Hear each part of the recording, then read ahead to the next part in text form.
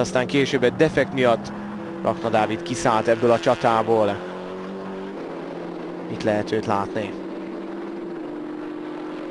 A bal első szállt el.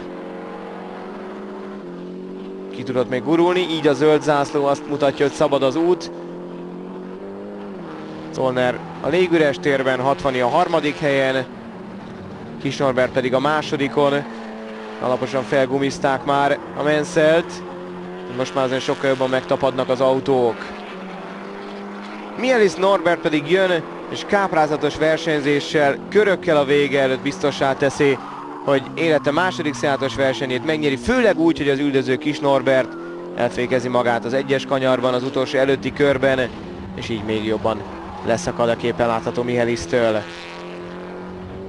Nagyon érzi az autót Mihelis Norbert, aki 23 éves mindössze, és eddig mind a két évében, amit eltöltött a gyorsasági szakákban, a márkakupákban, megnyerte a maga kategóriáját. Mindenképpen meg kell még említeni a tegnapi balesetes Bárkovics teljesítményét, aki a végén az ötödik helyre jött előre, az időbüntetése miatt a hatodik helyre sorolták vissza. Kis Norbert aki a tegnapi elsőség után most egy második helyet szerez, és 60 Bálintot látjuk, aki harmadik lett.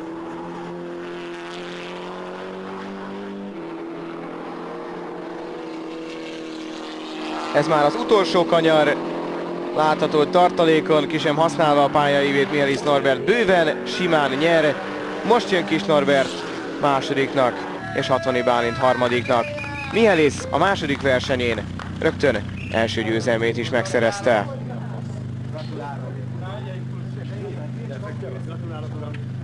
Féltem csütörtökön még, mert nem tudtam sokat menni az autóval, de úgy néz ki, hogy most megtaláltam a versenytempót is az egykör gyorsaság után.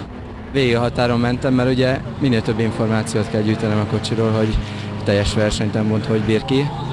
És próbálta, itt mondjuk az utolsó kör kivételével végig a határon mentem. Összességében jó verseny volt, rengeteget tudtam legalább most már tesztelni az új autóval.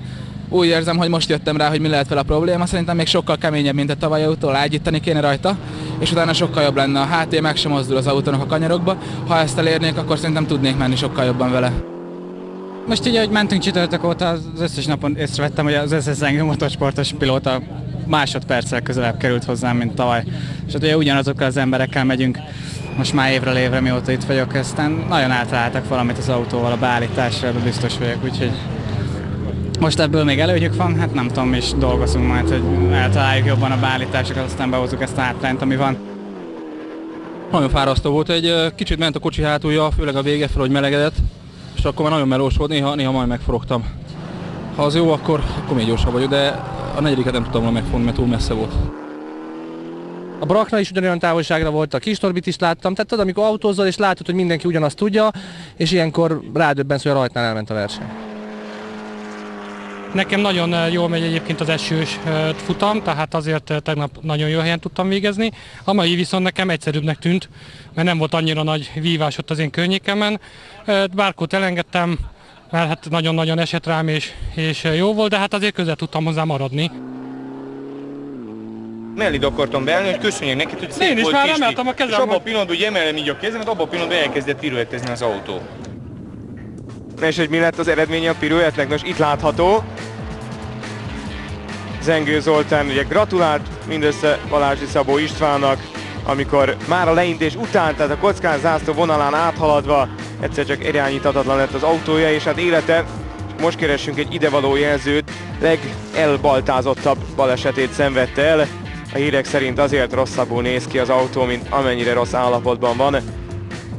Hát ennyi volt akkor az első verseny hétvége összefoglalója a Seat Leon Superkupáról. Mihelis Norbert megnyerte a második versenyt. Kis Norbert még keresi a beállításait. Érdekes, hogy egy 60 Bálint azt mondta, hogy egyáltalán nem megy az autó hátulja, Bárkovics Zoltán ezzel szemben arra panaszkodott, hogy túlságosan is. Szóval itt az év elején, főleg úgy, hogy viszonylag későn ülhettek az új autókba a versenyzők, még bőven van még tesztelni való idő, és lehetőség is, hogy a technikával összeszokjanak a versenyzők. Én most köszönöm a figyelmet, a legközelebbi összefoglaló majd a Suzuki Swift és a Renault Clio kupáról lesz.